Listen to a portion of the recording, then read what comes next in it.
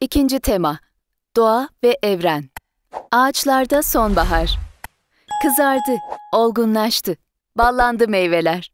Dallardan düşüyor, el değmeden. Yapraklar sarardı, uçuşuyorlar. Ağaçlarda kalmadı güzellik. Yağmur bulutları çöktü göklere, taşmasın deri.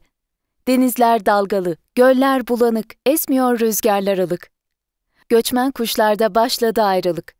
Kolsuz, çıplak ağaçlar, kısa günlerde, uzun gecelerde uyanık. Üzüntülerle ayakta bütün ağaçlar bekler ilkbaharı. Fakat sonbaharında başka tadı var, dağlara yağsa da kar.